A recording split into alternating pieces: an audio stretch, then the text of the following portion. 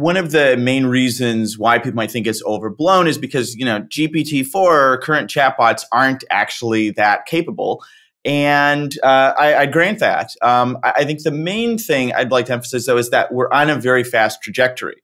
So it could be the case that in a few years, then we're actually talking about something that's potentially catastrophic. So if we're talking like cyber capabilities, for instance, like them being able to hack I, I think we'd be potentially exposing yourself to some catastrophe in like let's say like 2026 i think like bioweapons for instance um, being a, a concern um, that seems like fairly plausible for uh, 2025 of it being within the capacity of some of these systems to like emulate the. It's not that difficult. It's that's next that, year.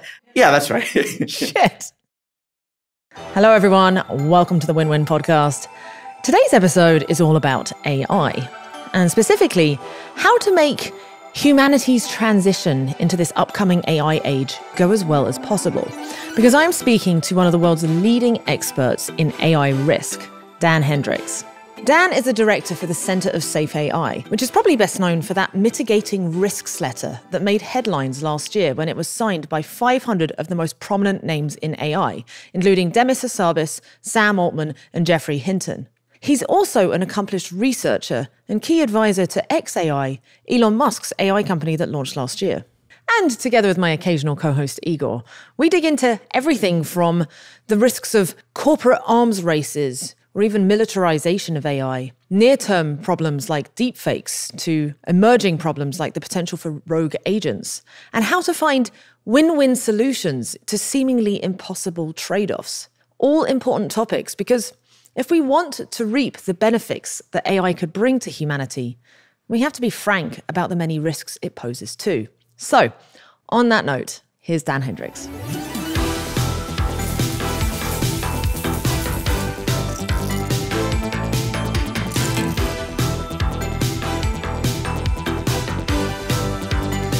So, Dan, many people, when they hear the topic of AI and AI risk, have sort of come to the conclusion that concerns about AI risks are somewhat overblown, or at the very least, that the existing laws that we have would be sufficient to uh, take care of any risks that might come from AI. So I'm curious to hear, first of all, what, what you would say to something like that. And can you think of any specific examples where our laws are currently insufficient?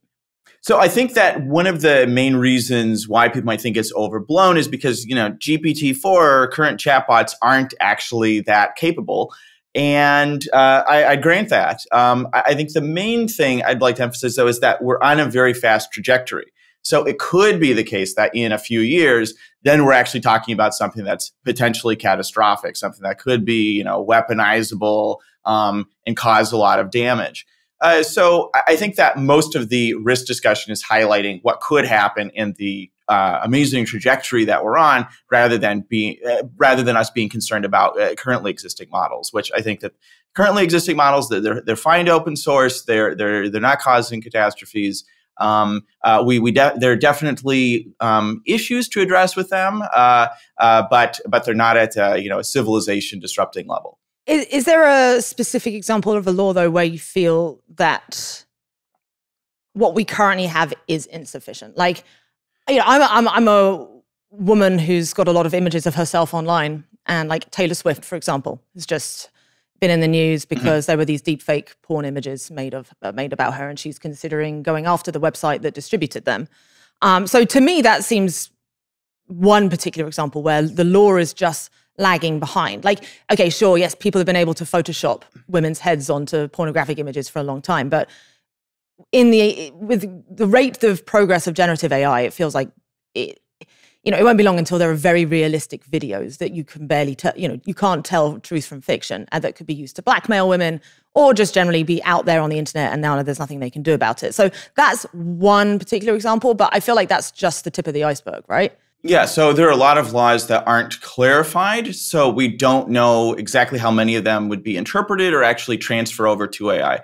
Take, for instance, some laws about bioterrorism. So in the future, there's some concern that people could use AIs to create create bioweapons. But uh, a lot of those laws will say um, if there's if the um, system is or if the entity is knowingly trying to cause harm. And knowingly is fairly difficult to establish for an AI system. So a lot of legal verbiage about intent, uh, recklessness, negligence, um, uh, knowing. Uh, a lot of those aren't necessarily applicable. So it's definitely up to the, the, the courts to specify how we should end up interpreting them. I suppose as well, there just aren't really AI specific laws on the books. It, it, normally, we wouldn't expect that. Uh, um, uh, we don't need to worry about uh, nuclear power or nuclear power plant safety because you know there are laws against killing people. So um, we'll just have if, if if the nuclear power plant melts down or something and people die in the process, you know, laws will take care of it. That's that's not our attitude for basically any industry. You could make the same argument about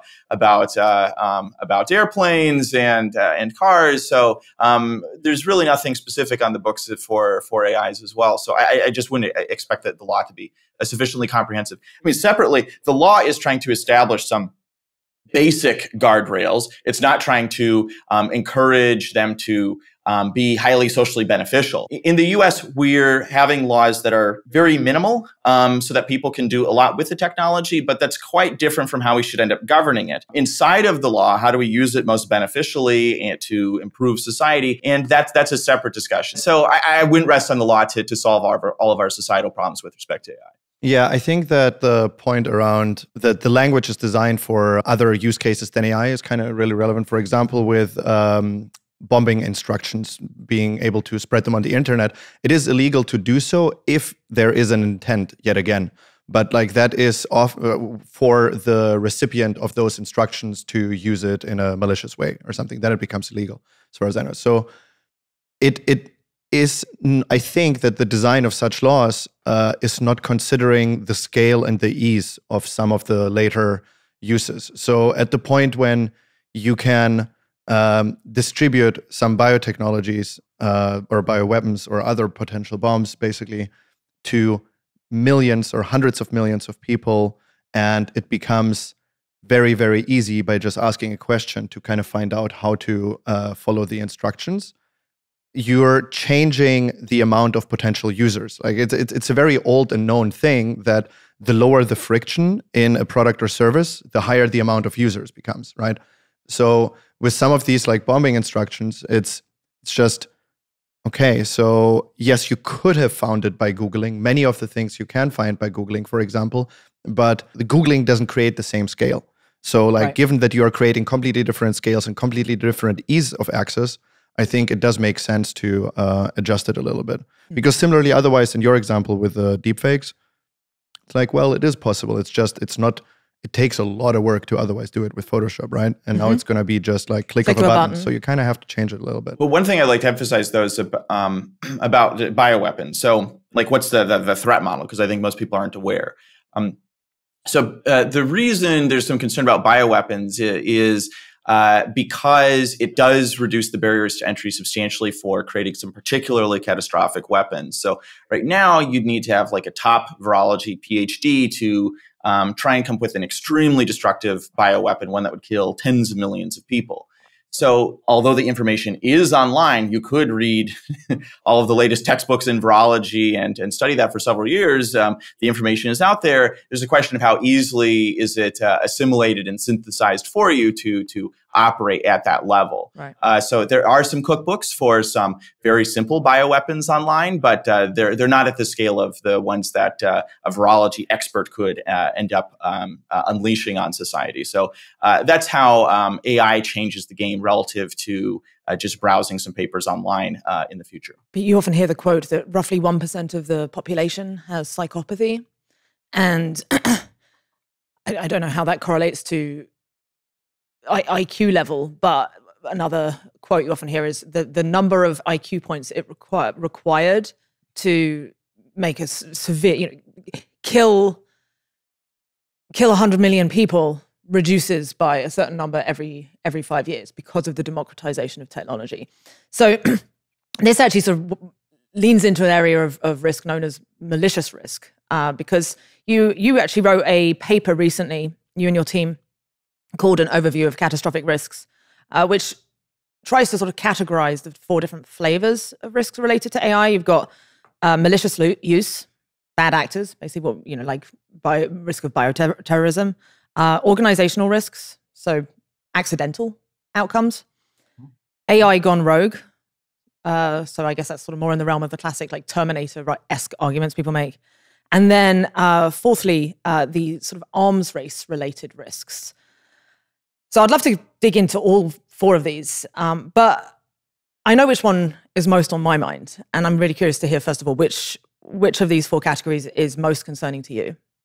Oh uh, well, I think the the in the short term, I think uh, malicious use is a substantial risk in the the short term, like we're talking, you know, like on a one to two year horizon. And if we're zooming out, you know, going across a decade or in the next decade or uh, or so, then then I, I, think these sort of structural risks, these risks of competitive pressures, these these arms race dynamics, end up being the main drivers of what we end up seeing in AI later, and carry most of the the risks. So uh, it, it can vary.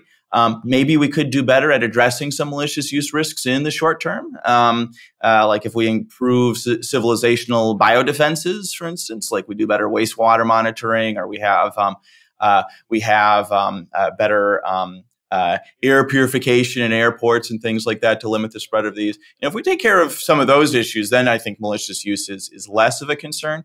Uh, but uh, these these these these risks from competitive pressures uh, are um, uh, present right now, and they seem very difficult to get rid of. So, yeah, I find the malicious use ones are a good example of this idea of uh, where differential technological improvement could be applied. So, you want to first develop some of the defense techs, then the uh, other side of the coin where some actors can go out and do a bad thing now doesn't lead to such bad a harm anymore, right? So, like you pointed out, the air purification, better sterilization of just like uh, surfaces general air, of course, then like better For PPE, better antivirals, and like actually effective vaccines. Just like a bunch of things could exist, such that the bioweapons risk could actually be significantly reduced, and then we could um, harness the benefits of all of the things that uh, AI applied to virology and applied to uh, biotech would generally also bring. Of course, we want that. We want right. the medical benefits. It's just that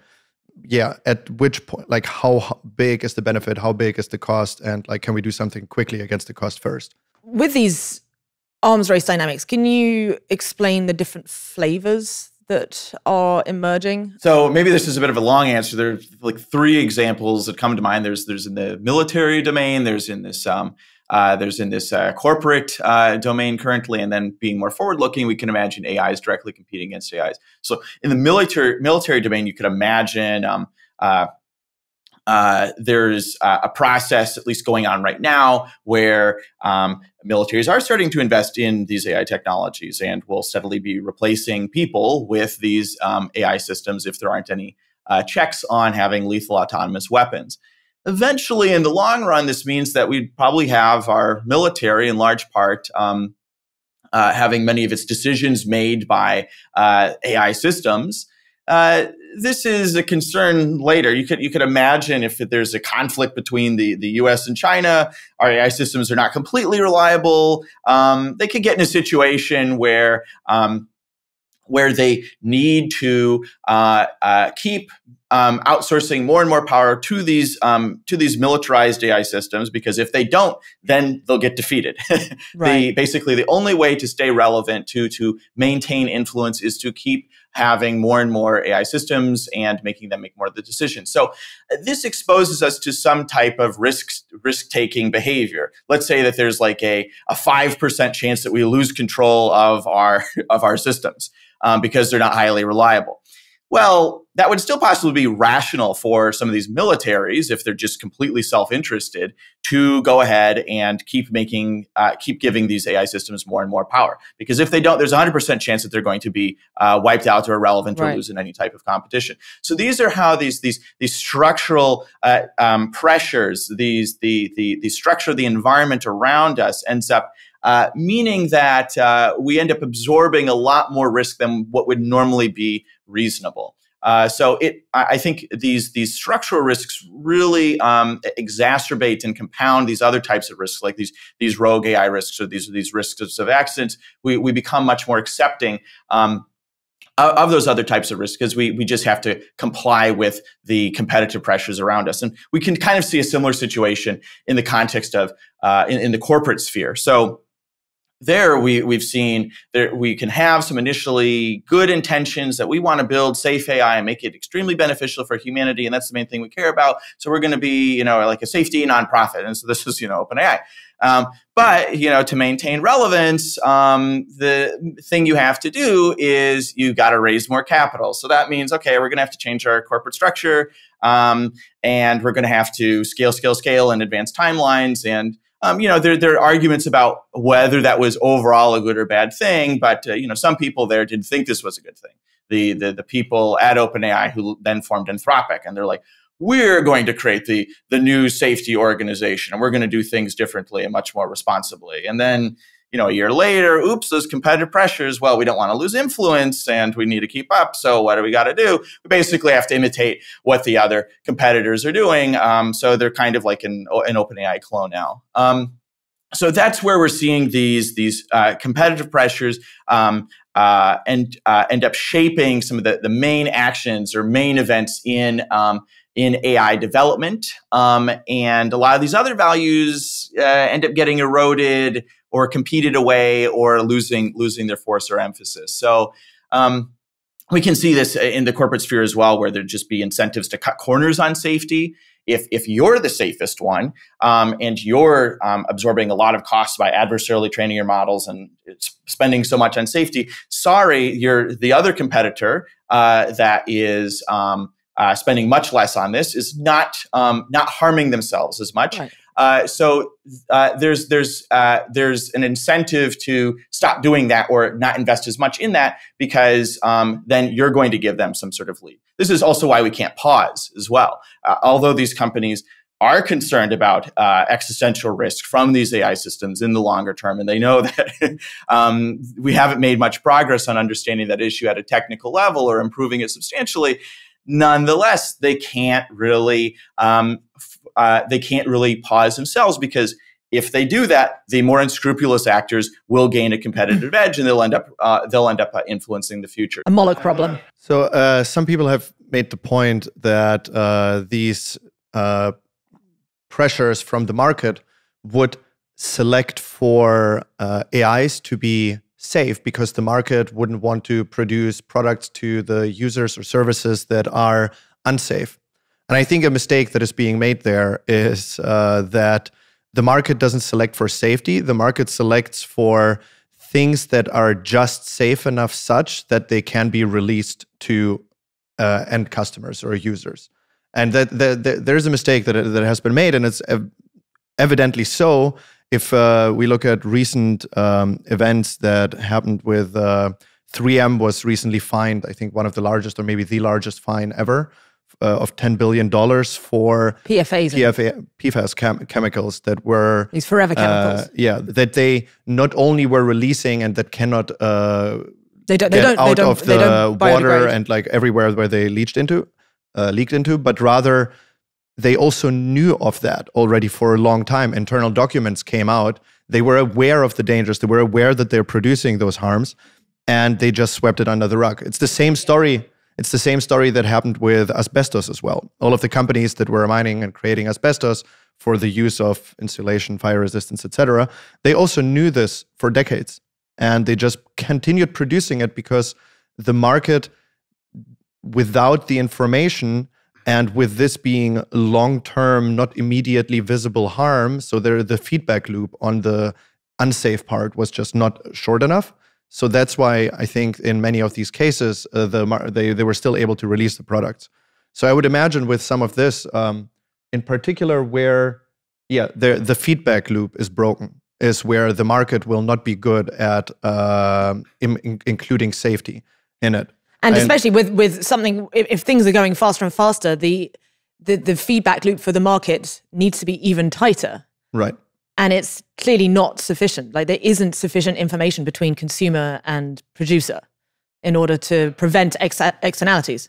Yeah, I mean, I mean, AI AI developers themselves have quite a bit of difficulty even keeping up reading about what's going on in the first place, let alone um, having these be battle tested in the market and uh, um, all the incentives um, uh, uh, finally being aligned with um, you know appropriate counteraction and and you know people suing in the event of some sort of catastrophe or regulation being put in place to to make sure nobody's cutting corners um, on safety. Uh, so it's it, it is moving a bit too quickly for that I, as well. I, I, there are some economic incentives for safety, though. But if we think about this over a longer time period, it doesn't seem like we're particularly setting up a safe ecosystem. So we can imagine that you know right now we're having ai systems write some of our emails in the future they'll be you know running around on our computer you know completing powerpoints and doing very, various tasks for us filling out excel sheets and uh, they'll act more like assistants and you know time will go on and they'll get even more and more capable and replace um, replace entire jobs uh, the, the, the, point might come that they would also be really good managers. You know, they can you know keep a thousand things in their head at once, and uh, they can um, uh, they can work constantly. Um, they can process more information more quickly and are extremely knowledgeable, et cetera, et cetera. So what, what happens in this process is it basically makes sense as an as a company to replace people with these AI systems, and you become dependent on these systems. Um, uh, it's it's difficult to um, uh, undo that beca- or get rid of the AI system because it was improving your profitability, and your competitors are also adopting these systems too. So we have another collective action problem. Right. Um, th- this process over time means you're getting the economy increasingly moving moving faster, faster than you can keep up with, um, faster, um, uh, and you can't have as much oversight as to what's going on as well. Uh, you need uh, to solve the new problems that come up, um, you need AI systems to deal with them because they're the only ones capable and uh, fast enough to, to, deal with them. So there's this sort of self-reinforcing feedback loop that kicks in. So people aren't making like the the effective decisions, and they're creating more of an, an ecosystem that they don't quite understand. They they could be advised by the AI that if you do this decision, uh, it will be you'll get better results or something. And we don't actually have too much of an understanding of, of what's going on. Hopefully, um, hopefully that system is sufficiently prescient as well and able to to aggregate all the information appropriately on on our behalf. Um, not clear that that would happen. They're they're they're very good at what they do. They are quite uncanny in many of the um, mistakes that they that they make. Um, uh, but um, uh, overall, uh, you, you get a drift to humans not actually making many of the decisions, and that the AI systems are the ones making these sorts of decisions. So um, uh, I don't know if that's necessarily a safe outcome, but I think that's what the market ends up selecting in the long run is is people not actually being in control or particularly aware of what's going on um, uh, inside of that system. So uh, as well, one, one could take this even a bit further. Um, uh, these these AI systems later then are directly competing with each other too. Mm. Um, and when that happens, then you start getting some pretty pernicious selection effects for the ones that are the most capable, uh, most most competitive, maybe the most ruthless in this environment, which which end up being the um, this is sort of a more of a survival of the fittest dynamic among these different systems.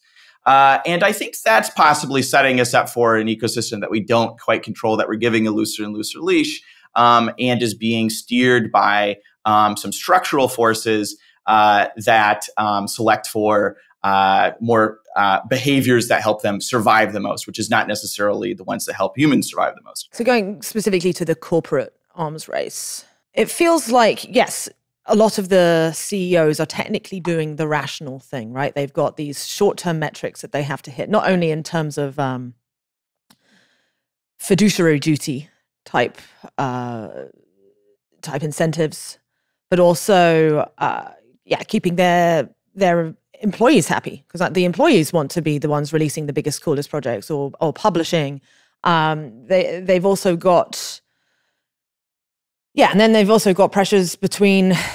Well, at least I often hear them always say, "Well, what about China? Like, if we if we slow down, then we're gonna America's gonna uh, fall behind China and leave us vulnerable to that." So it, it feels like at every at every point, there's the the incentives are overwhelming.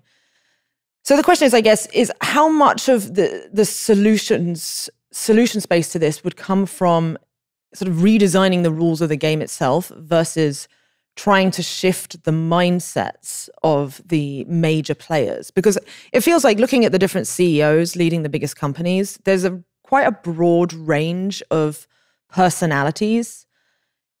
There are some that are they're, they're, they're saying that it's a concern, safety is a concern. They don't want to be going as fast as they are, but they, you know, they acknowledge the arms race.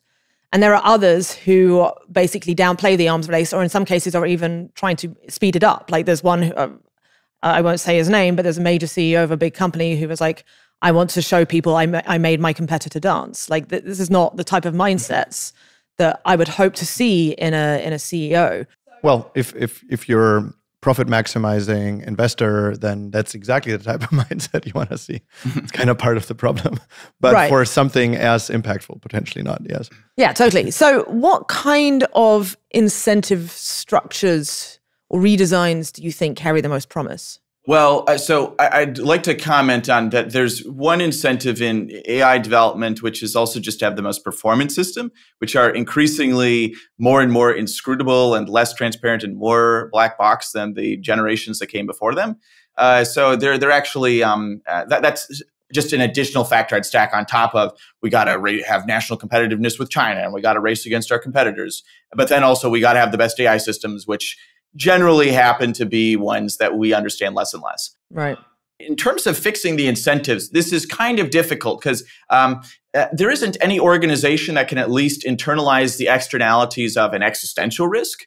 Um, if people go extinct, I mean, who's going to who's going to go That's after them? Um, so uh, there's there's a limit to how well we can we can uh, um, create some penalties, um, but we, we could imagine something lighter, which would at least penalize uh, catastrophic um, uh, outcomes from AI systems. So potentially better liability laws um, imposed on AI developers may be a way to um, to uh, create incentives for them to follow at least the uh, best practices and not feel as though um, adding a lot of these safety features is a is an encumbrance that they're just doing to, to signal, but it actually makes sense for for their bottom line. So that's something that in the that sort of payoff matrix in the in the prisoner's dilemma would would actually change the numbers and make it possibly rational for them not to defect and cut corners, but um, actually implement some some safety features. So that's at least one in the um, that's at least one in the the corporate sphere that could be helpful liability laws so basically because like the, the the the assumption of what it means to be negligent should also be dependent to a degree uh, on the scale of harm that you can produce which is why you would like potentially have the different liability laws mm-hmm. right like uh, mm-hmm. it's unfortunate that uh, the the quote that always comes to mind is actually from Spider-Man. Uh, I think it's from Spider-Man, but it's uh, with great power comes great responsibility. I feel like it's a very natural kind of thing that uh, makes sense. But and I think Spider-Man got it right. Mm-hmm. Hey, some sometimes they're, it's always they're really comic spot books. on. But yeah. uh, it is very, I think, intuitive to assume a higher burden on something that has higher impact in even if it's net good, but can go to both sides much further. Then you still have mm-hmm. to place a slightly higher burden on it. I'll also note that one thing that doesn't seem to matter that much would be verbal commitments to safety. So hmm. it actually needs to be something externally imposed with teeth. Um, if it's a verbal commitment to safety, I just it seems that people don't really notice or particularly mind these if, if they end up reneging on it. So, for instance, and I'm not I'm not attacking OpenAI for you know be, be, for out of you know um, I, because I have an axe to grind or anything like that, but um, just have a lot of good examples of this. Um, but overall, I still think they're you know a, a, um, a very thoughtful uh, uh, AI developer, um, especially in contrast to to some other ones. Um, but anyway, they had things like a windfall clause that when we get some profit, we will be very pro social and we will distribute that onto people. But like, you know, quietly, they'll just adjust the windfall clause to like grow. Um, uh, there's like when we make back 100% of the profit, then the remainder of the profit or 100 times the profit, the remainder of the profits go to the people. They change that so that it's that cap grows like exponentially by like 20% each year. So um, such that it's like relatively relatively ineffective. Nobody really noticed, or or they'll have like there's a merge and assist clause. Uh, we will we will help if we're near AGI. We're going to merge with the other organizations, and we will we will try to um, develop it as safely as possible so as to reduce some competitive dynamics. I think uh, a lot of them actually have fairly short timelines. I don't think any of them are uh, seriously feeling out trying to do some merge and assist type of move. So there's a lot of these lip service is very valuable, but I, I think that historically, when people are not even making any effort to live up to it, um, uh, it, it, doesn't really seem to to to matter that much. So. Um, so I, would focus on uh, uh, things that do have somewhat more teeth and not depend on an individual actor to try to um, fix the incentives and sort of rewrite the system for everybody else. Um, they're just not large enough to do that. Right. So you're saying it, the the the rewriting has to come from some external body that outside of the game. Yeah, because it's not rational for it otherwise. It has to, um, e- even if they cooperate and do the pro-social thing. There's all the other pra- uh, there's all the other actors who would behave differently. Right. So classic, um, and then they'll price that in, and then they'll defect as well because they go, well, if we do it, nobody else will, and that will harm us. So it'll just be that over. And, and even if they're like potentially great people working there, it's it's it's just a bad system to design. And I understand the people that worry about regulatory capture there to have the people who are who may become responsible for harms to be the ones writing the laws. It just doesn't quite make sense. totally. sense. We no. haven't allowed that in other yeah, areas. Yeah, the the, well. the potential for bias there is just too strong. Um, yeah. So, what kind of body would you like to see? Well, do you think the existing international or at least supposedly independent institutions we have are sufficient, or do we need a new body to write these laws? or these regulations? So for writing the laws, it's very difficult. So if it's if it's if it's extremely international, has you know 100 plus countries in it or something, it's going to operate way too slowly. Mm. Um, uh, by the time the um, planning group for the working group is announced, you know, it's uh, two years have gone by. So right. there there are potentially some other ways of changing the incentives. So one way could be having an international AI organization. Like an IAEA? More like a CERN for AI, where this is where AI development is happening. Uh, you know, the, the Western allies are not racing with each other to try and develop AI. This is a sort of one of the de facto places where, where AI is developed. And the um, next shipment of GPUs is, is going here because we don't want it going to this sort of you know random company that we don't have influence over. We want it going over to our shared project. So that's one that um, that's that's some potential um, structure, some international project um, uh, could end up being um, uh, uh, viable and fix some of these incentives, reduce these competitive pressures. You, of course, get some other sorts of risks from this too, which would be some misuse by people at this organization um, that they would get extraordinarily powerful. Um, but um, th- there may be ways of there may be ways of, of offsetting that if it's very democratically accountable and you you know take various steps to make sure that there um, isn't isn't internal collusion. You make you keep it separated from the military so that you can um, uh, so that it can be counteracted if it goes rogue or anything like that. Um, those would be some ways of uh, possibly making this incentive better. But I think the default trajectory, though, internationally, I would expect is these these AI companies are actually not the most relevant actors in five years' time, but instead militaries, mm-hmm. uh, because these these tools are um, capable of being weaponized to do things like cyber attacks and take down energy grids. Um, so they're, they're very relevant technologies and for, for national security. In fact, they're possibly the most relevant beyond, beyond nuclear weapons. So uh, that could be a top priority of the, these different countries to race on that front and primarily do so with, their, with the military. Um, the military could just conscript um, or use something like the Defense Production Act to Right, um, demand companies yeah. to basically do their bidding. Right. Yeah. I mean, I I think I agree as well. It makes all the incentives seem to be pointing in that direction. And especially as it does feel like the world is getting, you know, international relations is getting more as opposed to less hostile right now. The the trend over the last few years hasn't been great. So is are, are, treaties our best hope for that? Because I mean, there have been historical examples of treaties working pretty well. If you look at the history of nuclear weapons, yes, okay, things were very bad in the beginning from the 40s into the 50s and up to the 80s the number of nuclear weapons was going up and up as the arms race between ussr and the usa got worse and worse. But then the start was it the nuclear arms reduction treaty came into effect in 1990 and that reduced the number of nuclear weapons on earth by about a factor of four. So under rational game theory like that shouldn't be possible right? Under the moloch Moloch's forces, you, mm. you, it should be mm-hmm. just forcing everyone to go up and up and up and escalation, escalation. And yet, mm-hmm. a treaty came in which did reduce the number of nuclear weapons. So, why did that treaty work? And are there lessons that we can draw from that to apply to any potential non-military non-military use of AI internationally? I, am uh, usually coming from the perspective in international relations that states will just do what will make sense to um, secure their power relative to to competitors, um, and from that perspective, there could possibly be some types of treaties that uh, look very pro-social that um, actually just fix the incentives for for um, uh, most parties involved, but uh, and still um, uh, increase their relative power or preserve theirs. Take for instance um, uh, a biological weapons convention. Uh, that we could think is wow we, we we made agreements about bioweapons. This must be because we you know came together as humans hand in hand and we just recognized our common humanity. We don't want to go down that route. Instead you could view it differently. You could say that the us has and the ussr and others have have nuclear weapons. This makes them very powerful. Bioweapons make um, a lot poorer nations extremely powerful.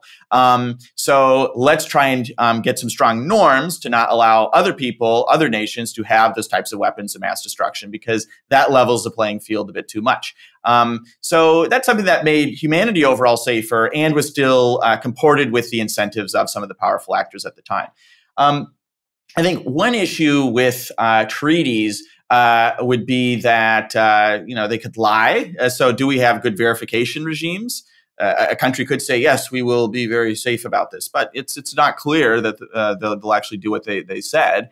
Um, uh, with other things like um, in, in inspecting chemical plants and things like that, maybe there's more verification, but verification for AI might be more difficult. That we'll need to to investigate a lot more. Um, I think that there is a way of having the incentives um, all work um, internationally um, uh, based on the fact that there's the there's uh, a lot of um, interdependencies in the supply chain for GPUs. So although they come out of TSMC, a lot of the precursors, necessary precursors that you can't easily replace, um, are uh, come from the U.S. and NATO allies. Uh, uh, about ninety plus percent um, of them. Uh, so if they have something like a shared project they'd say the GPUs go to the thing that we share. We don't want it going to the thing that we don't have as much influence over, like this this one random project in in your country. Uh, and that could make them work collectively. Another thing that we could have is um, that could fix incentives is is um, getting us um, getting or having more prescience about what's to come from AI systems. So it's when people think about this, um, uh, they um, it, it, it, unsettles them after there's a big capabilities jump, and then they'll, you know, they'll, wow, what's going on? And they'll bury their head in the sand, you know, a month later, and then just kind of assume that we'll always be living with the technology like this. Maybe it'll get a little more extreme, but you know, it, it's not going to get, you know, it's not going to start replacing jobs anytime, or um, that, that's you know, decades away. So um, this is kind of our attitude attitude toward AI developments, and if we could. Um, uh, normalize or help people see, you know, this is what might happen five years down the road if we um, uh, if we keep um, acting in this way. That could get them to go, oh, it is within my longer term incentives to be acting differently. I think us understanding what are what we're getting ourselves into, what's going on, and in general epistemics would be um, uh, critical for avoiding these longer, what are currently longer term consequences of AI systems. Yeah, the information sharing was um, what would have helped, for example, in the examples I previously gave with the um, market not having uh, adjusted for the, well, sufficiently supplied the safety around asbestos and PFAS chemicals. It was an information asymmetry, which is usually one of the reasons when markets don't work, right? Right. Um, and but the there is a bad way to have symmetry, which is neither the uh, developer of the AI model knows how it works internally outside of just like the broad 500 line code architecture, nor the user. Therefore, we're good and markets work. That's that's not the way, right? We should have symmetry in both having deep knowledge of it. Uh, which which um, and I I wonder where where is the field that is looking at kind of like what's going on internally and why is it doing what it's doing which goals does the model have like called mechanistic interpretability where where has it currently been? I've seen that there have been some small advances, or were they actually large? Where do you how, how have you seen it going? I think in terms of overall understanding of the system, I will not anticipate that we'll be able to select, you know, a random part of the system and, you know, um, uh, be able to say, oh, this is why, this is that, and answer multiple why questions about it. I, I, I don't think that's the case for um, a lot of these complicated systems, and I think that the more performant systems generally get higher and higher in complexity. Uh, so um, I don't think that'll end up turning out too well. I do think there might we could possibly get more clarity though about how to control uh, the system better, even if we can't understand all of the the, the whys of each part. Uh, so you know we, we can to some extent control AI systems. We can't do so with high reliability. We don't really understand the intrinsics of them well at all. Uh, we still can nonetheless you know fine tune them to fulfill our, our various requests. They'll often go off the rails um, and they can be jailbroken. And these are very difficult problems. But um, uh, uh, I, I, can I, I, predict that we won't have substantial, complete understanding of these systems, but maybe we'll be able to control them. There's a question at a reasonable level. There's a question of reliability, of course, um, mm-hmm. and as you, you sort of emphasized earlier, that the markets will kind of um, uh, locate the point where it's like just safe enough to release them. Can you quickly just explain what you mean by interpretability and why these what you're talking about is a little bit different to what happens with normal software and understanding how that works? So normal software uh, is where coders are writing each line specifically. Every um, part of the system is coming through through them and their understanding, and it's very logic driven. There's specific rules and and control flows, but they specify everything. Um, meanwhile, with AI systems, we instead specify a very high level program. We say, here's a big blob of data. Here's some um, abstract objective like predict the next word. Now go learn for several months. And then out comes some system. So we're, we're, we're operating at a much higher level of abstraction. We're kind of designing AI systems um, uh, with like a broad principle, um, kind of like just like evolving a system or something like that, or, or, growing a system as opposed to meticulously designing every single aspect. So our level of control and precision and, and understanding of what comes out um, is is quite different. Each part of software programs are coded by individuals, but each of the several hundred billion parameters in an AI system are not hand selected. Um, uh, they're they're automatically learned uh, from AIs teaching themselves on a big blob of data that no person has read, and people don't know exactly what's in, in all of that. Um, and then the AIs will go through a loop of teaching themselves a bit too. Uh, so th- this is what makes them much more inscrutable compared to software. And just to highlight the ratio uh, of, yeah, it's uh, like hundreds of gigabytes or dozens of gigabytes of uh, just numbers, basically, right? And then or matrices and then uh, next to it is how many is it kilobytes or megabytes? The amount of code that actually is interpretable by humans. I mean, it's a, a few thousand lines or so for, for the, the, I mean, in terms of in terms of the stuff that's like, but it can even be described more simply as just like here's here's some here's some specific loss or objective as they'll call it. Uh, it's it, you can you can write down on a, on the back of a napkin, um, and then that that's basically uh, that that basically specifies the system. Um, uh, it just then needs to train on like a supercomputer and like teach itself for a while, and um, that, that, that's how they're made. So uh, this this is why I'm not terribly optimistic about is like understanding exactly what we're creating, and then when we're mixing all these things together and having them interact with each other in, in ways that we can't keep up with, and uh, they're they're creating new um, structures and modes of communication and saying things to each other, sending sending big big vectors to each other of, of lots of floating point numbers, and that's how they're communicating. I, I, I think that'll be a very interesting ecosystem if we can control it. that said, where uh, people are trying trying to do that right now, right? And like Chris Olah, mm-hmm. for example, has been focused on that, and so are um, like mm-hmm. uh, efforts at the labs as well. Like DeepMind, for example, has been working on it too. Uh, yeah, how how has that been going? I, I've seen some progress around where it wasn't around selecting this particular neuron is doing particularly this, but rather they grouped it and then could understand it sometimes. What maybe like sections do. Yeah, yeah, yeah. So there's uh, there's been a lot of work in trying to understand the um, the internals of them. Uh, the um, there are people who are approaching it from trying to understand things at like a, a neuron level, like the, the individual, you know, floating point numbers. What does it mean? What does it correspond to? N- neural networks um, have a lot of neurons in them. A collection of neurons is a larger firing pattern.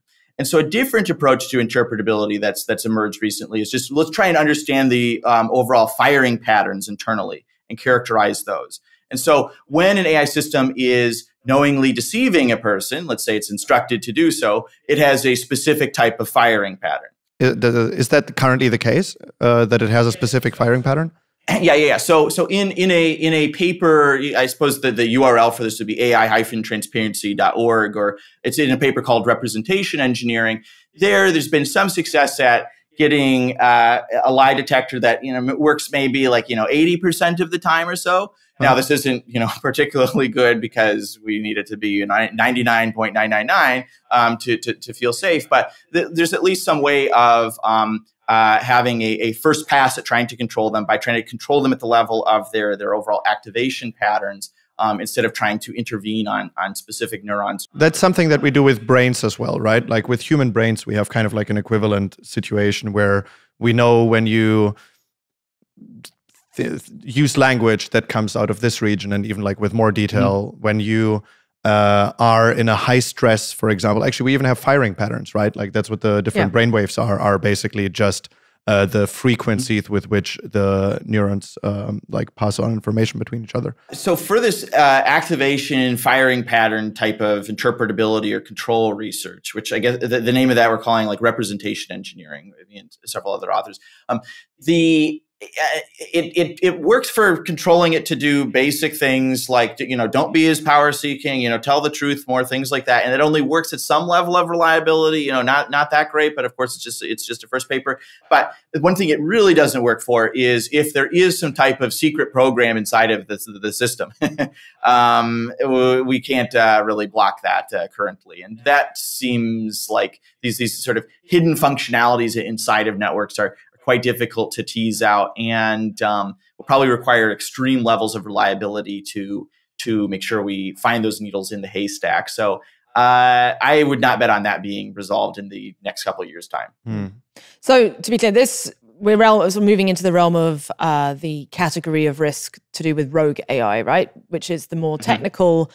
How do we, if we're building systems that are ever more capable and eventually we'll get to uh, if trends continue, might get to a point where they are smarter not only than every, than individual humans, but even humans in aggregate.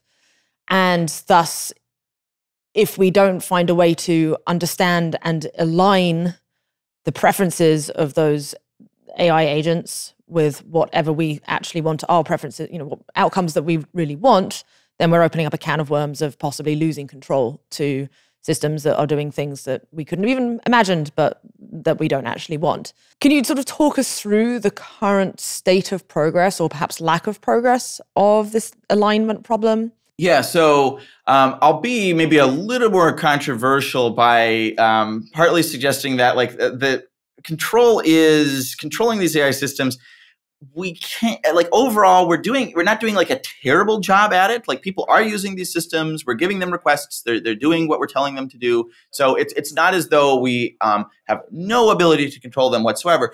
I, I do think is a separate problem of getting to be 99.999% reliable or highly reliable or reliable in the face of you know adversaries trying to exploit them and things like that.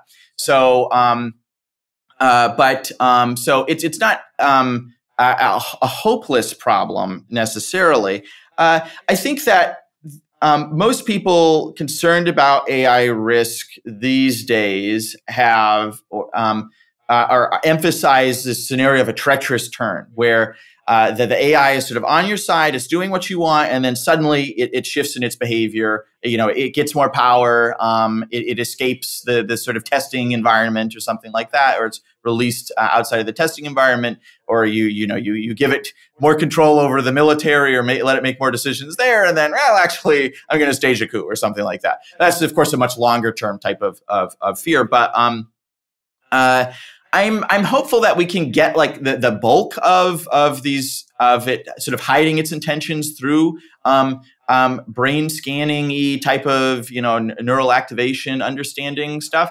So I'm just a little more optimistic on the technical front. Right. Um, the main way in which I see like uh, us losing control um, without like it being um, structural pressures or anything like that, but just from the, the, the AI systems themselves is the case where we're having automated AI research and development, or maybe I'll just abbreviate it automated research processes or ARPS. So with that, you can imagine it's five years in the future. Uh, um, one of the leading labs has uh, AI systems that are basically can research and are as, as, smart as some of the world class researchers in AI. And then you can make you know ten thousand of them, um, and then you have a whole fleet of of researchers. Then you say, go make our AIs even more powerful and they of course are pressured to do that because of uh, let's say competitive pressures or, or so um, if we don't somebody else will so Moloch again in that situation i just really don't know how such a process would play out what are we going to do are we going to, are we going to prompt it especially well so that the, the, systems that they that they build will um, be um, completely controlled by us uh, it, it's just it's a very um, quick moving process to have that much um, intellectual um, labor at that at that caliber uh, that you might get decades worth of progress in a year. Uh, it, so that has more of the property of we have one chance to get it right. There aren't really do overs. Very hard to think about. Um, uh, and this isn't a, um, you know, uh, th- this is a robust concern. Norbert Wiener, um, a, long time ago, uh, emphasized this as a potential intelligence explosion. But at the same time, uh, what I'm hearing you say is that um, this worry, which is actually kind of the probably most uh, discussed 2010s uh, AI safety worry, probably, what is yeah, it, it, it is, is, slightly one for you of le, uh, lesser concern, but also it kind of presupposes a few things, which is why I would understand that some people are not as worried about it because it presupposes that you can um, some design these automated uh, research programs, right? Uh, that they are of higher quality, that you haven't kind of built in sufficient lie detection, et cetera, et cetera, around it. And like while this is seems like yeah, eventually you'll be able to do that to me. Um, that one does seem further away than the malicious use or the systemic pressures, right. military mm-hmm. uses, etc. So mm-hmm. I, I, definitely, or even the centralization risks that some people worry about, right? Mm-hmm. That we briefly mm-hmm. touched on. That's why I, I, definitely sympathize with people who look at that and say that's really far away. Um, even though it might be closer, but it also is somewhat accurate, I think, to say that uh, there are these other concerns that um, are more likely to be in the immediate term. Yeah, and and they are themselves like catastrophic or potentially existential. Mm-hmm. Uh, I mean, like if you have civilization collapse because of some from some bio. I mean, the, the Black Death killed like what ha- almost half the population or so. I mean, this is um, uh, it's a bad time. Definitely civilization disrupting. Yeah. A, a, different possible outcome is is us sort of act kind of giving up control that we really shouldn't have. So imagine that these AI systems become uh, morally valuable. Um, and that might be if they're conscious or sentient. Mm. Now, there it doesn't seem that they are currently, uh, but you know, a lot of animals are are sentient. Like this isn't this isn't like an extremely high bar. We're getting them to like code and do all these other sorts of things. they might also get this this other property. And if that's the case, then some people would say these AI systems ought to get rights. And then you've created some autonomous AI systems. Um, uh, that have these these protections, and you aren't in control of those by design because you shouldn't have control of them. And you know you have these sort of systems in the population. You play that out, out over a few decades. They can you know spin up many more instances of, of variations of themselves. They're getting um, uh, smarter. Um, uh, let's let's say by thirty percent each year, and they're able to create adult instances of themselves for a few thousand bucks I, I, wonder which population will be larger or the most relevant in it by the end of the century. I mean, they might be like 99.9% of um, all persons um, by the end of it. So uh, there, that's another way in which humanity and um, uh, human descendants are not in control, um, and that we've we've lost a lot of our, because we voluntarily given it up. I don't know. That seems like fairly plausible to me to happen if if we do end up getting uh, uh, AI systems that uh, are sentient. So um, I'm not saying this is a good or bad thing. I'm largely just raising this as here's a weird other consideration. It's not always just the AIs, you know, malicious, try and try and try and destroy the world. Um, uh, there are malicious actors. There's there's the structural stuff. Um, there's also the, the issue of um, AIs deserving rights and us them not being controlled because some people are giving them legal protections. Yeah, and some people will say to that that that sounds incredibly sci-fi or so, but obviously, one, that's not how one structures arguments. And two, uh, the other side of all of the AI benefits that are to come are also all incredibly sci fi.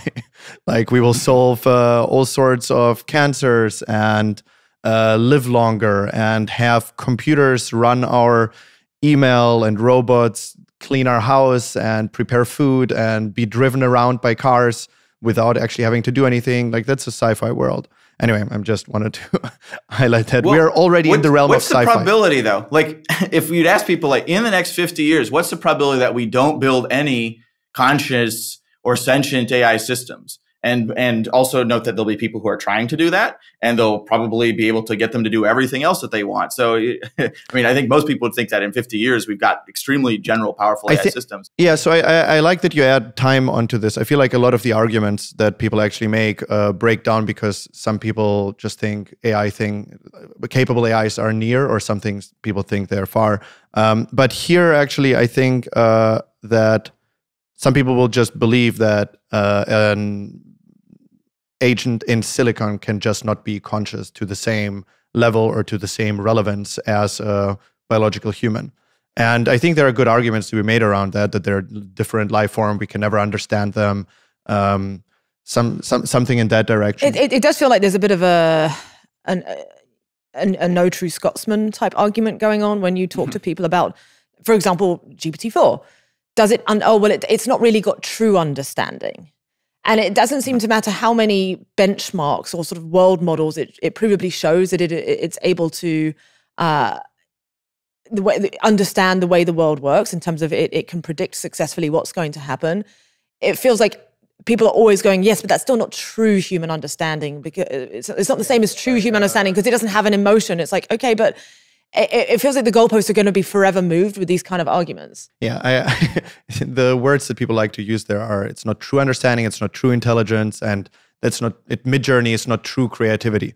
And I feel like who cares? Like what what do you even mean? It's like do we like the you art have or not? Inputs, you have outputs. Does it outperform or not? Hence, will it be able to create things in the world with uh, higher impact? And the answer to creativity part, Midjourney is obviously yes with the intelligence parts, we've seen that across games and now like across language, writing, etc. It's starting to beat exams.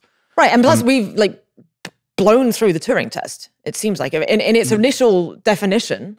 Yeah. Right. I mean, would would it convince the average human that it is a human? I think if you took an average human from 1950 and made them have a typed dialogue with GPT-4, they're all convinced they're speaking to a person. They might think the person's a little odd, but they'd be, be convinced. there, there are two factors that might change this, though. One is that um, when we've got AI agents, there will become more like self aware or at least um, recognize themselves as part of the environment because it just makes sense if they're accomplishing goals that I am also a thing in this environment that um, it, it, it's just it, it's very hard to be intelligent and, and, not have that that concept, uh, mm-hmm. uh, any type of self concept.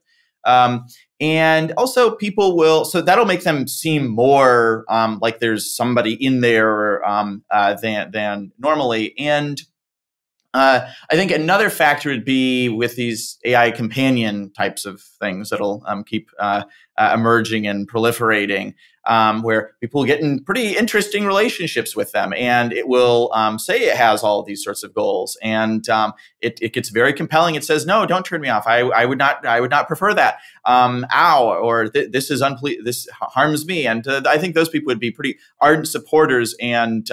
Uh, recoil at the suggestion uh, that oh these AI systems we need to you know turn them off because they're unsafe. They say that's murder. So this is a way in which this is sort of fitting into this broader evolutionary story that these AI systems will keep proliferating. We get dependent on them, and we'll give them um, um, uh, less and less restrictions. Um, uh, because, and, and, what I'm highlighting in this one is um, uh, people also become very emotionally dependent on these systems too. So having a big off switch for all AI systems would be something that people would eventually end up pushing against. So this is how we lose control. It's not because the AI systems are are scheming against people and wanting to to um, ha- have a big coup. Um, I think a more plausible one is that we kind of just the, the structure of the situation that we find ourselves in. We'll keep taking these, going down these incentives paths, and um, we'll wind up with a pretty unusual future. Um, uh, um, and uh, some people uh, may carve out some specific rights or uh, ways in which we can't um, uh, have the control that we have over these systems. So,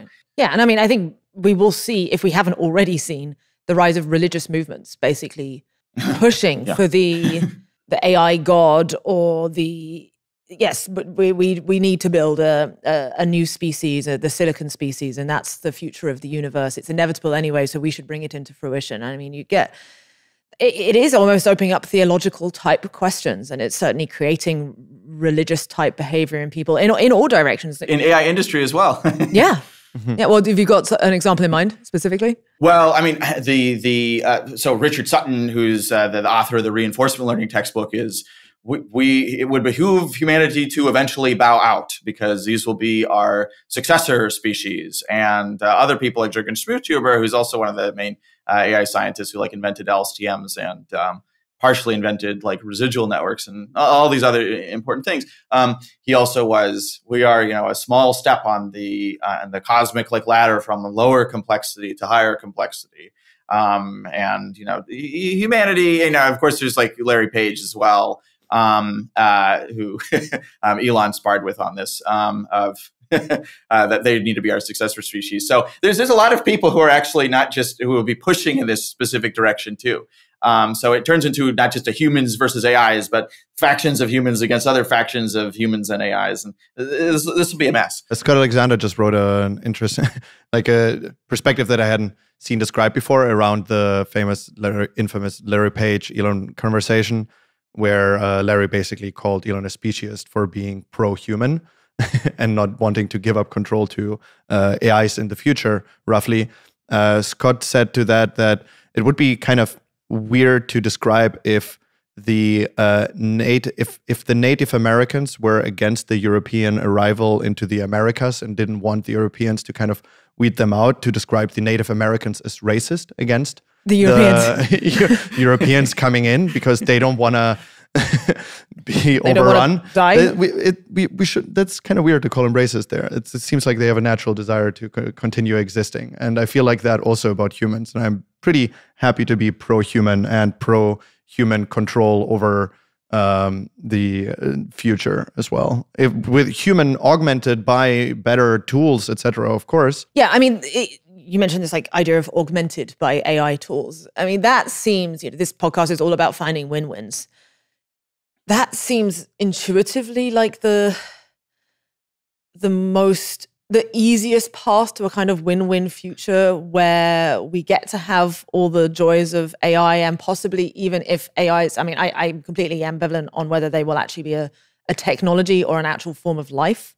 I think the lines might blur and we don't, we just don't know. And we, the normal breakdown of those, the delineation between the two might completely disappear. But a world where we can have those and all the fruits and joys and, and, and a more complex universe because they exist, but also biology and the, the, the, the natural complexity of Earth that emerges in the biosphere also gets to continue.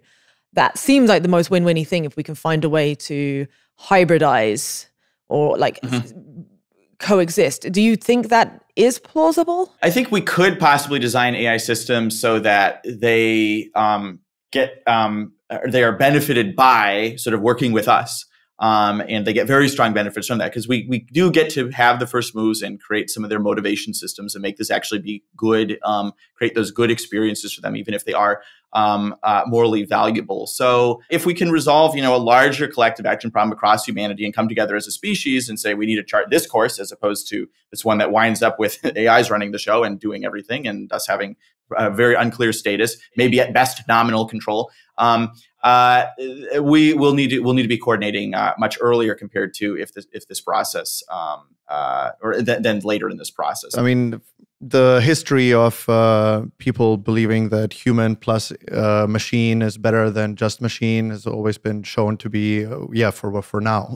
no, it won't be more is, is the answer, of course. Later on, uh, pure machine just wins. I think David Deutsch would disagree with that. Um, I, I don't know if we want to go into that. Can you make a kind of structure structure his argument of why? Oh, I don't know his argument. I could make one argument for why it would make sense for AI systems to keep humans around a bit, which might be like if they're like computer viruses that might like destroy a lot of systems, you might, but they might care about life more broadly. Then you might want some biological uh, humans for Right. diversification. Um, yeah, but, so we're uh, like another uh, another backup for future Right. AIs to exist again is by uh, having because we survive solar flares or maybe they can't or that's a bad example but something of that type. Possibly. Yeah yeah yeah, yeah. Mm. Uh, so there's there's some diversification that we could provide. That doesn't now that is not a great outcome for us necessarily. That might mean there's like a core group of people that's not necessarily 8 billion of us uh, all living in luxury forever but well yeah we, it wouldn't need us to have as much space. Right now we're dominating whatever enormous percentage of the earth that could presumably be used for uh, cooling towers or G- GPU farm. Yeah, clusters. but maybe maybe it's just easy enough, and it does like us enough to go out and somewhere else and give us the Earth plus other planets. Like I, I I mean, anyway, that's the hope. At least I think. Might, maybe it'd strike a bargain with us or something yeah. like that at an earlier mm. stage. That's that's one way. That was there was there's um you know James Cameron made those Terminator movies. One of one of the ones that wasn't produced though that he was going to was where like it sort of ends with like the AIs are going their own way and humans go their own way. Mm. just sort of, there isn't it, they can't quite make that relationship work. Yeah. so they, they sort of cut their losses. what I like in your description is that you're um, kind of that the path that you point out about how just a, AI is getting more and more um, involved into our daily lives, and then like starts running more and more of the economy. That's that seems kind of the path that we started already being on, right? Like right now, every in day to day life, many people start using ChatGPT, obviously, and later on, you see more and more using even further things, and that uh, has actually we already have an example uh, of that having led to some negative outcomes in the case of uh, uh, social media algorithms where like i think would you agree with that that they they were designed for improving advertisement revenue overall um, and this has over time led to something like a uh, destroying a value that humans probably would have liked to keep up at the same time but because uh, we we gave control to the uh, systems to kind of optimize for a thing that the company wanted to optimize for, this one value got eroded along the way. The value being something like mental health or your uh, long-term attention. Uh, abilities to like long-term focus that or the, a all harmonious of that, society yeah or exactly like the polarization issues but uh, i think that that kind of highlights also just like a very like subtle potential of just we don't notice how some of the values that we actually hold dear and that are valuable just slowly disappear uh, as we give up more and more control. One, way of characterizing that would be that we have sort of um, misaligned cultural evolution, and we, we've seen that with social media technologies. We see that with the, the AI companies, sort of you know wanting to do safety, but then they have to you know give up a lot of that and just spend you know ninety nine point nine nine percent of their budget on more GPUs. Um, uh, we, we, see that this isn't aligned with human values and that like we all recognize we're getting into a lot of we're getting into very risky territory and it's probably moving too quickly and we don't really know what we're going to do um, or have many solutions available either um, so uh, this is uh, you know i think earlier signs of just how we are on uh, um, there, there's this process with substantial momentum to it that it will be um, tugging us along um, and give us an outcome that none of us particularly intended or wanted. Mm. Going back to this question of regulation or treaties as a way of solving these competitive incentives, you know, the Moloch problem, essentially. One seemingly unavoidable trade off that comes with these kind of essentially top down control mechanisms is it comes at the cost of centralizing power right? If you're going to have some kind of centralized governing body, now you're handing over the potential keys to the entire kingdom to them. And historically, power corrupts. Even if these guys start out really good, just the potential for corruption is there. And plus, you also have people making raising the concern of like regulatory capture, right? Or the the the basically the incumbents are going to have so much power that no one could ever catch up. And again, we're now just handing more and more power over to a fewer and fewer number of people. So, how is there a way to make this not be a trade off? Again, is there a win win solution to this seeming like tension between centralization and decentralization when you're trying to like create a, a, a risk minimized and but also benefit maximized world with AI? Well, there there might be at least Pareto improvements um, where everybody can be better than they would have in the default trajectory, at least. Uh, so one would be having AI development or the most powerful AI systems not being developed in the military.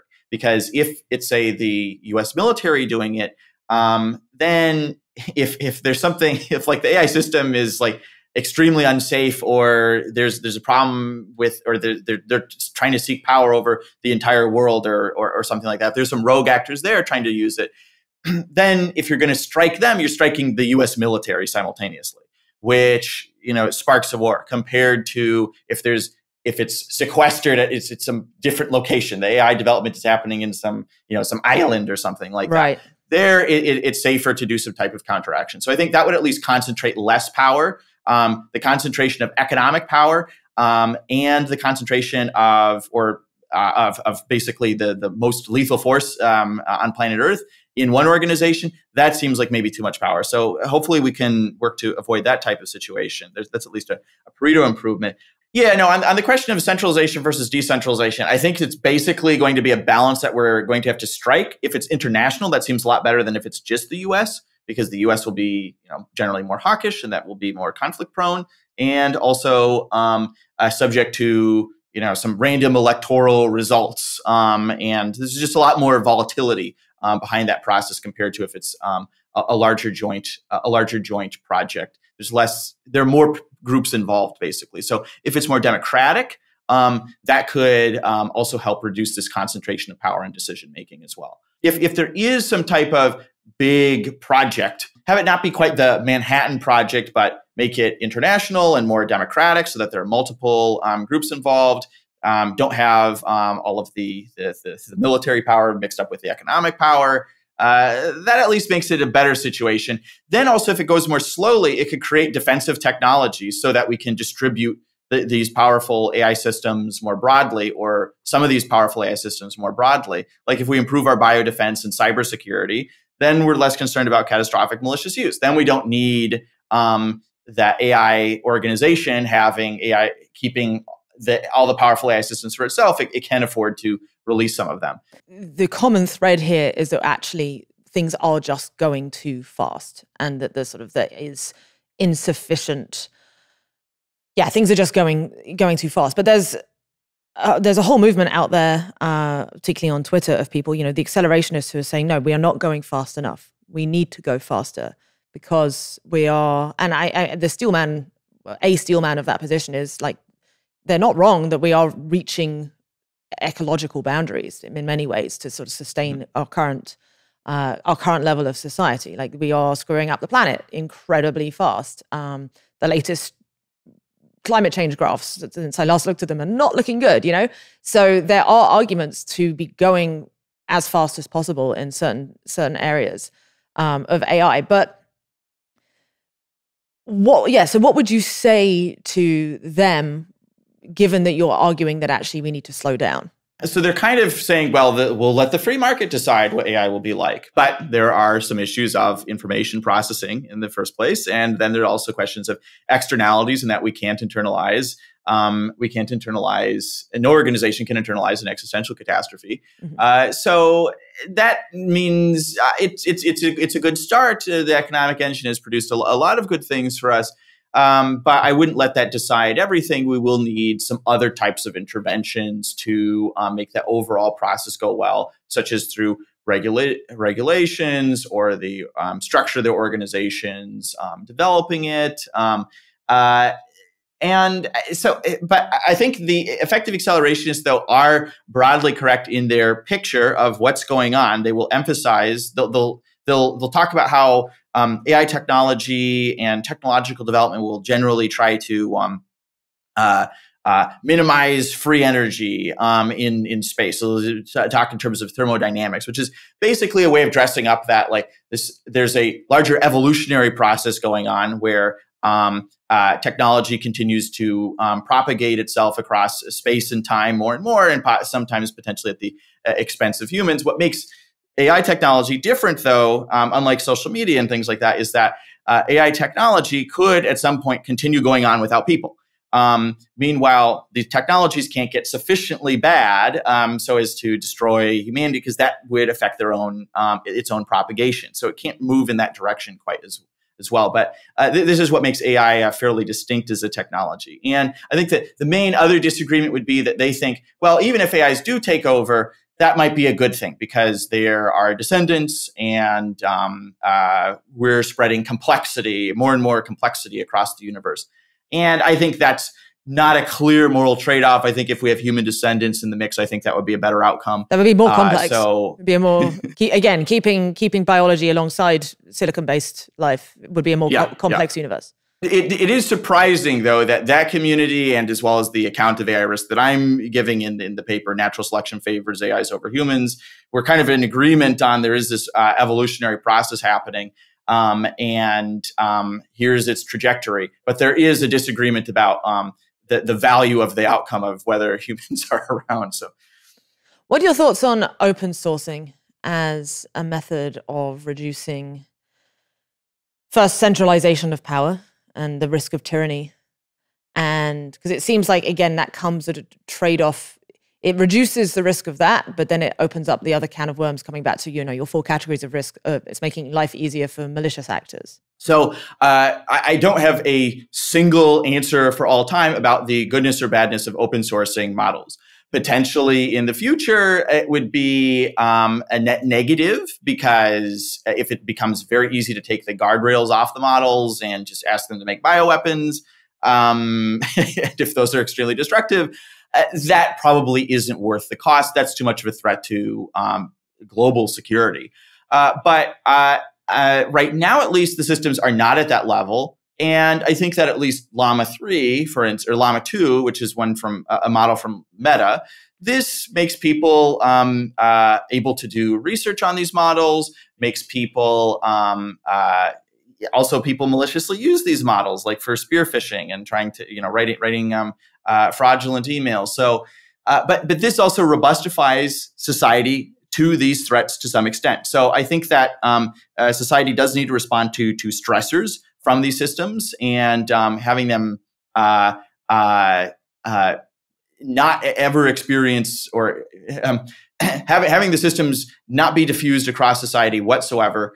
Um, and us not being robust to almost any smaller forms of malicious use against AI systems doesn't seem like a long term solution because eventually some would end up leaking through a hack anyway. Um, so I, I, think it's useful as is for civilizational defense right now, but I don't think there are some stressors that we can take. I don't think uh, um, uh, an engineered pandemic uh, that kill 100 million plus people. I, I, don't think that's the type of stressor that we need. But you know, more more spear phishing. I think this makes us more alert and improve our information security. So. The thing that uh, some people claim, like Yann LeCun, for example, is that, uh, well, historically, open sourcing uh, software has led to the software becoming safer. And that's kind of like what the internet is built on, Linux, like or small programs like VLC players, also an example of it, right? So I, I, the thing that I'm surprised by is that it's it's been embraced, as far as I can tell, those arguments by the open source community, because it's not the case that – when Llama uh, 2 has come out, it's not quite the same, right? Like I, I to the VLC player, I can look at the code and I can uh, find a bug and uh, propose a fix, and then this will actually be implemented, and then the new release will include that. Whereas Llama 2 is foundation model where I don't like how it deals with virology.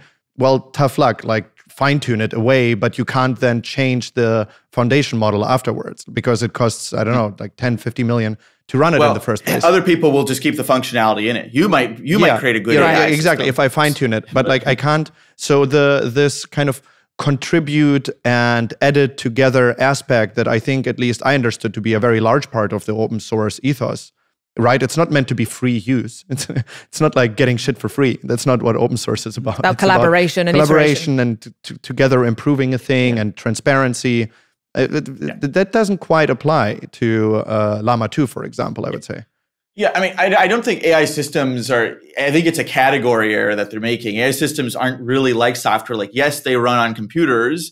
Um, I don't know if we don't think of humans as like, um, you know chemistry machines or something like that i mean they're just we're like i suppose that is our substrate but that's really not what they are like the, these, these ai systems aren't like software in that they're, they're more like grown through some you know abstract loss function and just being thrown in a lot of data so not, they're not coded in the same way as what it's it's it's it's, it's a different category in, in deep learning as well another point i would mention is that uh, for other types of technologies, we don't just always open source them. So although we might do that for for software, uh, We don't do that for nuclear secrets. That's restricted data and for good reason. We don't uh, do that for biological sequences. We have specific secure facilities, BSL for securities for um, containing these. So it's I, I, don't think it's uniformly the case that uh, spreading information, whatever the information is, is is always the right thing to do uh, because there are risks of people trying to use that information against you to cause substantial harm. I suppose the counter argument to that would be, well, maybe we should. Um, it's it's not like nuclear codes, but it's more similar to the internet, and the internet is something that is an enabling technology for everyone, and everyone should have access to. I think even prisoners now mm. have access to the internet as a right in some at right. least areas, mm. because it's just seen as something so fundamental to one's ability to kind of uh, experience life uh, as a human nowadays. Well, that might be the case with, with like biotechnologies as well.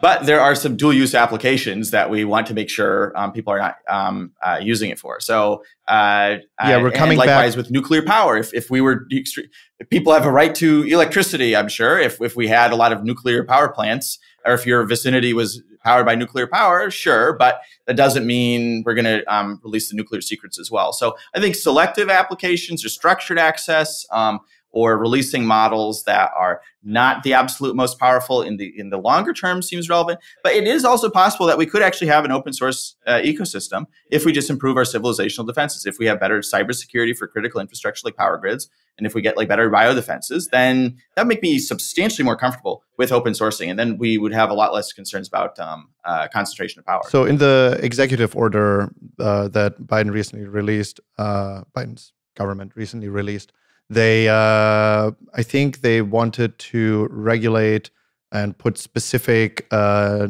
reporting and other required testing evaluation requirements on models uh, above a threshold of 10 to the 26, I believe, right? I think there is a justified um, concern that people have that, well, the government is not going to in time respond to adjust those thresholds as things kind of progress. Say uh, GPT 6 is trained on like 10 to the 28 is it at that point uh, relevant whether the 2 times 10 to the 26 is open source or not? Like, where do you see the uh, risk kind of like in sum coming from in the world where, say, you have a large lab release a model with X and then the 130th X size model is open source or the 150 or 100th? The I, I, don't think there's a, a simple um, equation for this f- flop level in the training run uh, uh, is equivalent to you know this much potential risk, and if we have an open source one, that would really offset these risks. I think it's kind of at a, a, a per training run basis. Uh, like we'll we'll we'll have to test how capable GPT 4.5 is when it when it's available and uh, maybe it will be conducive to things like uh, uh, attacking critical infrastructure through um, as, as a cyber weapon or building biological weapons that are much more powerful than what you could uh, find online. Um, that's so I, I, think it's and then that will also depend on how secure we are against those too. Um, uh, so I, I um, maybe it would be the case that for like three years, nope, sorry, we're not going to have an open source model because we got to just improve like civilizational resiliency and um, our defenses in the first place, and then we'll be able to have this sort of thing released. Um, uh, so I think it'll actually be a fairly uh, complex function. But um, it, it, seems useful to make sure that a lot of individuals are empowered in this process, and not, um, mm-hmm. you know, some some ultra wise elite gets all the power in society. Coming back to these four categories of risk, there's actually I'd like to propose a, a fifth category that I often don't hear talked about within the specifically in the AI safety community, but in as part of the wider AI conversation, and that is uh, it was actually proposed in this conversation I had with Daniel Schmachtenberger uh, in my very first episode of Win Win, where he was explaining how because AI is by definition one of the most ubiquitous forms again of, of technology let's call it a technology for now that can be applied to basically anything that there's an incentive. Basically anything that there's an incentive to use it for it will end up getting used for.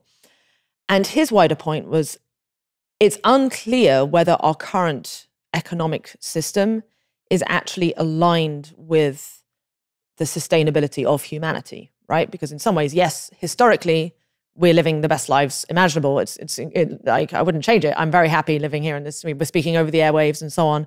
But at the same time, it seems like we're on a rather unsustainable path in the, the sort of this this open loop economy we've got, where just requiring more and more extraction from the biosphere, and we aren't finding ways. You know, this is this is going to reach butt up against limits. And so mm. his wider point was because AI is so broad in its use, it's going to speed up this already misaligned machine. For example, overfishing is already a huge problem in the Pacific. Well, if if if fishing companies can use AI systems to be even more efficient at pulling fish out of the ocean, that's going to speed up that de- degradation. Mm-hmm. Even more efficient or automated rainforest deforestation, and so on. And I'm curious to hear what your thoughts are on that. Like, is that deserving of another like area of risk? Um, what, if anything, could be done about it? Or do you think that overall it's going to be a moot point because AI is going to help us discover better technologies that are that help create a more like sort of close the loop on the on the current economy that we have? So I, I think that uh, it, it might fit fairly well under the competitive pressures, structural risk sources, uh, race dynamics framing. Uh, for the question of like what's the economy up to? It certainly is producing like a lot of wealth and this is helping us satisfy our, our, our various desires. It's not necessarily a preference maximization engine though or a human preference maximization engine. Um, richard posner the uh, uh, most cited uh, legal scholar and economist would um, characterize the economic engine as not being a preference maximization thing, but instead a wealth maximization thing. Mm. It seems very conceivable that you could have a lot of material wealth generated without humans. Um, uh, uh, so the momentum of the the, the system is um, uh, make things more and more efficient and compete away the inefficiencies. Um, and I don't see why uh, humans being part of that picture would necessarily be um, uh, conducive to its functioning. Uh, so I, I, I, don't see. I, I think that the, um, a more optimal solution doesn't include people um, for wealth maximization, um, and that's that's not a good sign.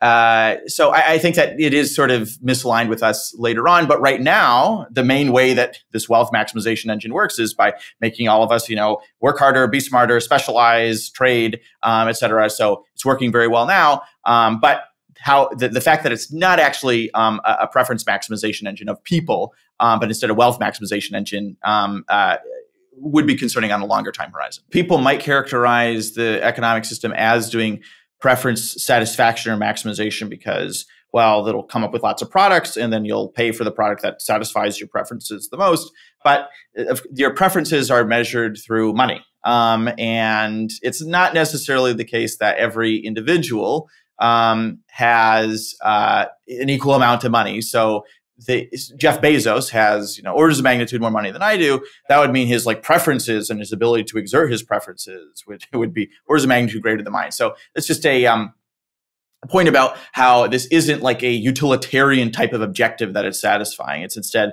that some people are counting way, way more than others and having their desires end up enacting. So, um, and this is a problem when we end up using um, uh, money as the um, as the way of of, of uh, keeping track of people's uh, intensity of preferences. Doesn't it doesn't have to be only utilitarianism that it kind of doesn't satisfy. It's also not mm-hmm. necessarily in the like great deontologically if well it's a very it's very consequentialist though yeah i know the market ends up being very consequentialist yeah, yeah. i mean that's that's kind of the the ends justify the means is basically the idea of like most business mm-hmm. uh, pursuits like on the on mm-hmm. the your uh, financial reports the ends definitely justify the means mm-hmm. and that's a bad thing by the way that's what makes it so inhumane in in many ways right yeah, I mean, you could imagine in the context of AIs, for instance, we'd, we'd give it the objective of like, well, you, you, give it an objective like go make money, and then like, well, okay, um, maybe there are ways of making money that uh, involve partly breaking the law, or you know, even maybe we get caught breaking the law, but we'll just like pay the fines. Um, uh, so you're you're very much testing the the robustness of your your other structures to to rein this in. Okay, so I've got to ask this question: What are your timelines to AGI? Well, so I, will be annoying and say like I, I'll think in terms of specific capabilities instead of AGI as a you know monolithic uh, label or single event. So if we're talking like cyber capabilities, for instance, like them being able to hack, I, I think we'd be potentially exposing yourself to some catastrophe in like let's say like 2026. I think like bioweapons, for instance, um, being a, a concern. Um, that seems like fairly plausible for uh, 2025 of it being within the capacity of some of these systems to like emulate the. It's not that difficult. It's that's next that, year. yeah, that's right. Shit. Uh, there's there's there's always substantial uncertainty though. I mean, we'll see how GPT 4.5 is. Maybe the supply chain will, um, if that has any types of disruptions, that could always uh, elongate things. Um, but for some type of malicious use risks, I think those are um, a next few year type of issue to make sure that we we have addressed. So with Alpha Geometry, we've uh, that recently came out where DeepMind created a model that was able to compete uh, at silver medal level at the IMO questions relating to geometry, which are the IMO, uh, International Mathematics Olympiad. Uh, so international on a global level, the very best ones usually go on to well either do nothing or actually crush it in various software engineering or other tasks. So it's like it's really really competitive, and um, the model that they created was able to uh, get to silver medal in uh, geometry, uh, and to achieve that, uh, they didn't just look at previous uh, questions and solutions, but rather created uh, it from the ground up with synthetic data. So that kind of then I wonder what what do you think where these future um, whether that's a, a, reliable source of future uh, data that we could get. Most of the labs are um, investigating um, synthetic data as a way of getting around some data bottlenecks and enriching uh, current data or augmenting it. Um, so that might be a substantial source of continued algorithmic progress. Seems fairly plausible. Um, but you know, uh, may more may turn on like the overall compute levels uh, mm. than than uh, uh, synthetic data. So, uh, but anyway, it it, it, cer- it, certainly is a factor to keep one's eye on, and I think this is one of the um, early examples of it being um, extraordinarily useful. And to be clear, synthetic data is because all these models historically are trained on real world data. Uh, mm-hmm. For example, all the words ever written by human humanity that's on the internet, eventually you run out of that, and so you need to create more so you can basically invent. So, what, are they are they inventing just made up passages, or like how, what does this synthetic data look like? So it depends on the it depends on the use. So like in um, AlphaGeometry, there uh, geometry is a good like example because uh, you can just like create a bunch of lines that create a bunch of forms and then you can kind of try to out of just like arbitrary forms that you made uh, like derive a bunch of rules out of it by like splitting it in various ways and always do like the next step. Like does this putting like a split here and knowing this rule allow me to like figure out this problem now a bit further, i see. so it's it's it's it's uh, abstract objects in that case. So with geometry, it was easy. With uh, right. uh, protein folding, it also kind of worked. Or like with actually, like when when we did a chess or Go um, uh, models, then they. Uh, they played fictitious games. Exactly. Right. That's Same as for us data. in poker. That is, that's synthetic data, the fictitiously created games rather than the human created ones. But sorry, that's to those past used ones. How how does it happen with uh, writing or language models? That's actually more of a like big secret like question. Like how can we crank out a lot more performance? I mean, there's some basic ones. Obviously, you could you could run your model on all the text that people have written and like fix the grammar mistakes and you know elevate the the quality level uh, of to some extent. But that's not going to help you that much.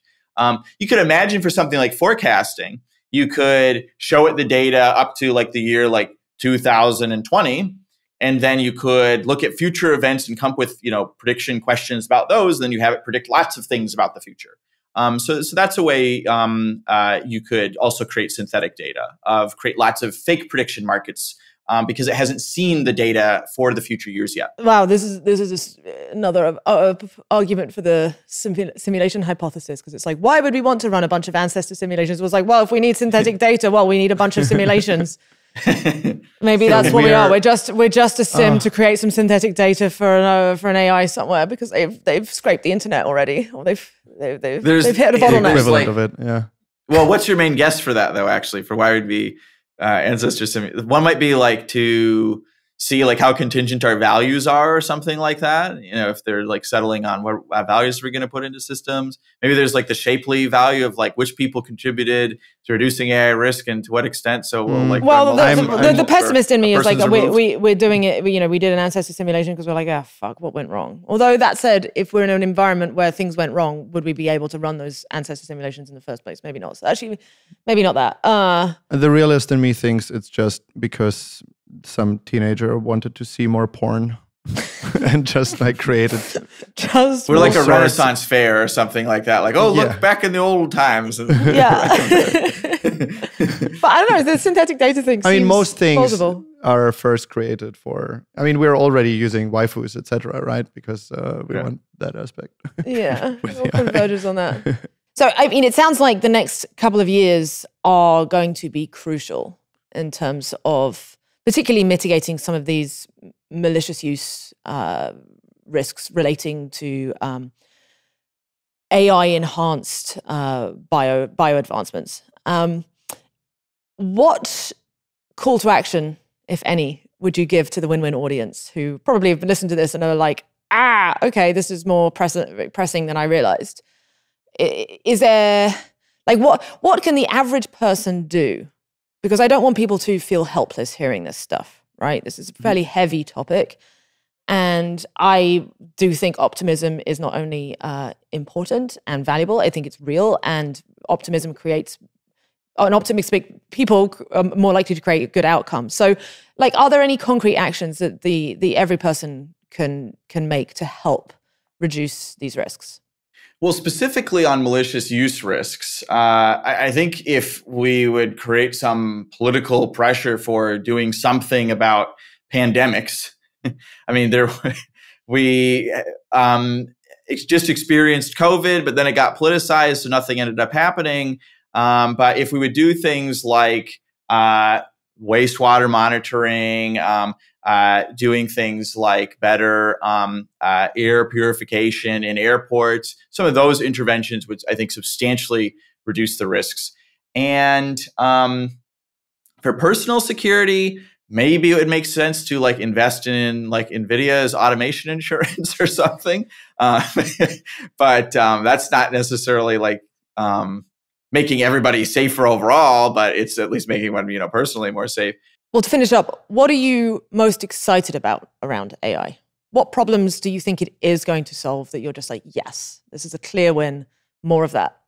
Well, I think uh, healthcare seems like a more robustly good uh, um, human first uh, type of thing to focus on. So I think it, advancements that it could provide there would be um, extraordinarily beneficial. For improving AI risk, uh, if we could have AI systems that are very prescient and that people come to recognize are able at predicting the future a lot better than um, um, other people, uh, that could help us partly peer into this really this this you know miasma of possible scenarios and um, help us um, uh, coordinate together because right now there's more of a situation of well, that's the sort of you know that's that's the chatbot that you know tells um, that is made by the right wing people, and that's the left wing one. So if it's going to be giving any type of suggestions or predictions, you'll just think it's biased. But um, if there are some that are trained to be more objective, I think I think that could help us strategically uh, uh, substantially and like reduce polarization. Could prediction markets in some way play into them? There's supposedly a paper that's uh, coming soon, which is um, uh, some AI forecasting systems are at about the level of prediction markets like hmm. Metaculus and some of these, these, other common ones. On what type of questions do you yeah, know? what type of questions? On Metaculus type of questions. Oh, wow. Direct yeah, comparison. Yeah, yeah. Um, hmm. And and they're and they're just drawing off. They're just LLMs, or they're reading the news. They're writing some analysis of the news. Yeah, that's insane. That's really That'd be great. That's yeah, so, so that's why I'm more optimistic about them now. That's like but the best news I I've could heard. have maybe the experiments were done incorrectly or something like that. I haven't seen the the paper. I just know some of the like authors on it, but. Can you say the what's the name of some authors so we can include these in this in the show notes? So so I I, I did like the, the, the first paper of this a few years ago with Jacob Steinhardt, and then he um, with a, a new student has um, just basically like done the paper with more current models because when we did it a few years ago, it just didn't work at all. But now it looks like you know GPT-4 out of the box is actually very competitive. So well, that's that is a reason for optimism for sure. Because if we can have better predictions and particularly ones that provably better forecasting and ones that you can show people that actually these are these things coming true, then perhaps it's a it's a new Schelling point of trust. I don't know if that's the right, right you know, it's a new convergence of trust because I think that's such a thing that we, and in many ways that's been AI created. Uh, trust has we, we've we've lost trust as a society. No one knows how to make sense of the world and so on. So if there's something that can emerge from the ashes of that dissolved trust that creates more trust again, that would be beautiful. And we can it's it's a new way for us to coordinate. Yeah. Because um, that's really mm-hmm. what we need to. We just need better coordination mechanisms. So there we are, folks. Thank you so much for tuning in, and of course to Dan for giving us the opportunity to pick his brain. As always, lots of links in the show notes. I do highly recommend, in particular, you check out the summary of Dan's paper that we mentioned, uh, overview of catastrophic risks. I appreciate this is probably quite a heavy conversation. You know, I've been thinking about AI risks for about the last 10 years, so this isn't that new of a topic for me, but for many of you who perhaps aren't that familiar, uh, I appreciate it can be a bit heavy. But as I said before, it's important to be frank about these issues and to have open dialogue about the, the dilemmas that we face.